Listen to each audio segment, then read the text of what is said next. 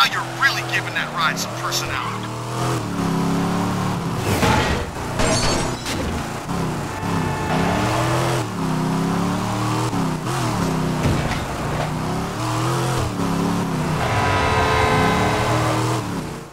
Roy's back with a serious whip. That Viper's got plenty of muscle, so get serious, man.